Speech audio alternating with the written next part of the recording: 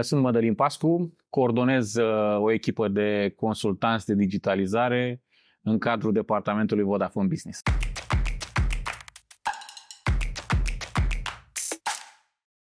Când ai fost ultima oară deschis la nou, în business și cum a fost? Dacă ne poți da câteva exemple. Prin uh, în prisma jobului pe care l-am, trebuie să identific și să fiu la curent cu toate tehnologiile care sunt în, uh, în piață și uh, aș putea să spun că asta este una dintre primele caracteristici ale jobului, să fiu tot timpul deschis la noile tehnologii pentru a le înțelege, uh, în scopul de a le uh, împărtăși mai departe și clienților și colegilor. Dacă, dacă ar fi să descrii digitalizarea pentru un business la început de drum sau care nu este digital, cât mai simplu, cum mai faci? Ce îi spunea unui antreprenor? Un antreprenor spune să se uite în uh, interiorul companiei, să analizeze care sunt uh, procesele pe care le are în companie și să se consulte cu specialiști de digitalizare în ideea de a găsi variante prin care acele procese interne ale lui pot fi făcute mai bine pot fi făcute mai uh, uh, repede și cu mai puțin bani folosind tehnologia. Cum te ajută în ziua de azi tehnologia să, și digitalizarea în general, cum pentru a începe și pentru a dezvolta un business? La început de drum, digitalizarea eu zic că, că joacă un rol foarte important pentru că te face să, să te ajută să te diferențiezi în piață față de competiție. Dacă nu faci tu digitalizare, face competiția digitalizare. Și ce înseamnă asta? În ce se traduce lucrul ăsta? Se traduce într-un simplu fapt că produsul final sau serviciul final pe care tu îl propui în piață uh, va deveni mai puțin competitiv dacă nu ai procese optimizate și dacă nu reușești să-ți eficientizezi în intern modul de lucru. Dar ne te rugăm exemplul unei afaceri de succes care a crescut mai bine, s-a dezvoltat mai mult după ce a implementat din, uh, din soluțiile Vodafone Business? O afacere de succes, așa, care îmi vine prima dată în minte, ar fi uh, legată de posibilitatea de a deschide o nouă direcție de business într-un moment critic al companiei, într-un moment în care pandemia era la început și nu prea uh, știam cum să Uh, cum să inovăm astfel încât să, uh, să găsim soluții care să se adapteze nevoilor de la momentul respectiv. E, și un, uh, un astfel de business, un business de retail, a reușit să, să dezvolte o nouă direcție prin care uh, persoanele care uh, nu erau foarte fam- clienții care nu erau foarte familiarizați cu digitalizarea au reușit să, să adere la un program prin care puteau suna la un call center. Call centerul respectiv era format din uh, angajați voluntari să preia apeluri, angajați voluntari din cadrul companiei. Acest lucru a fost posibil implementând o tehnologie într-un termen foarte scurt. Deci flexibilitatea pe care a avut-o compania respectivă și uh, ideile uh, inovatoare pe care le-a găsit într-un timp foarte scurt i-a ajutat să dezvolte acea nouă direcție de business care nu exista până la momentul respectiv. În două zile ei au putut să preia comenzi de la, de la persoane uh, care nu erau familiarizate cu tehnologia și cu aplicațiile de, de comandă uh, online. Dacă astăzi să zicem că tu ai fi un antreprenor la început de drum, care ar fi, nu știu, să zicem, trei lucruri pe care ai vrea să le știi, să le afli? Poate din exemplele antreprenorului care ai vorbit.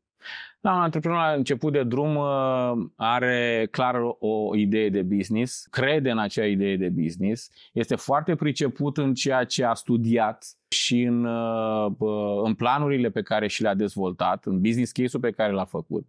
Dar uh, un sfat pe care l-aș da, un singur sfat, este ca la început de drum să încerci să, să găsești oameni în jurul tău care sunt specializați și în alte domenii, nu în core business-ul pe care tu l-ai gândit. Și unul din aceste domenii este digitalizarea, poate un alt domeniu reprezintă marketingul, uh, și sunt multe alte domenii unde un antreprenor are nevoie de, de ajutor și de suport din partea altora. Ăsta ar fi sfatul meu, să apeleze la, la, la specialiști, la consultanți, încă din, de la început, de când se creează businessul respectiv. Sunt un antreprenor, am un business care merge bine, fac profit, pot să-mi întrețin familia fără nicio problemă, Da. dar mi-e frică de digitalizare, mi-e frică de tehnologie, să aduc ceva în plus.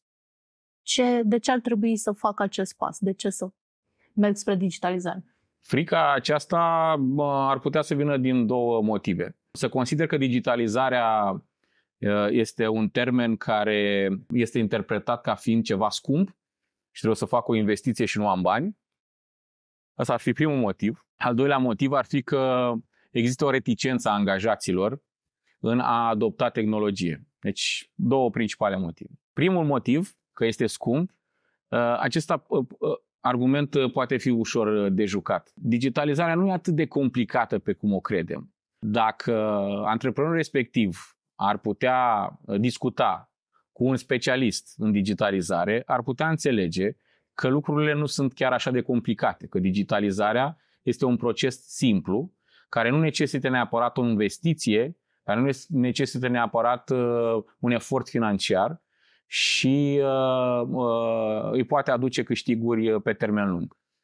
Celălalt motiv, acela de reticența angajaților la nou, acolo, într-adevăr, poate să fie o muncă mai asiduă din a convinge angajații că nu este chiar așa, că ei nu vor fi concediați dacă apare o soluție care automatizează un proces, ci din potrivă pot renunța la anumite activități repetitive care nu sunt plăcute de către angajați. Nu cred că își dorește nimeni să, să aibă o activitate zilnic, repetitivă, de a da copy-paste dintr-o aplicație în alta și dacă acelui angajat îi se, îi se explică că ar putea să facă o muncă cu o valoare adăugată mult mai mare față de acea activitate simplistă pe care o avea înainte, da, cu siguranță l-ar câștiga de partea lui. Apropo de reticență, când a fost ultima oară când, nu știu, tu sau cineva apropiat ai, ai simțit că pierzi o oportunitate, fie în business, în carieră sau chiar și în viața personală, pentru că ai spus nu sau nu ai fost deschis? Reticența aceasta, am spus, poate să vină din diverse motive. Din teama de nou, din uh, nesiguranță. Tulurile acestea de digitalizare sunt foarte predictibile. Ele în spate au un business case care poate fi înțeles, calculat și uh, dacă luăm în amănunt, putem să înțelegem foarte că e matematică. Putem să înțelegem foarte clar ce beneficii reale uh, aduce implementarea unui proces. Deci trebuie doar să-l analizăm da? ca să trecem de această reticență. Ce greșeală ai văzut deseori făcută de antreprenorii din România și, nu știu, pe care vrea să o evit de acum înainte?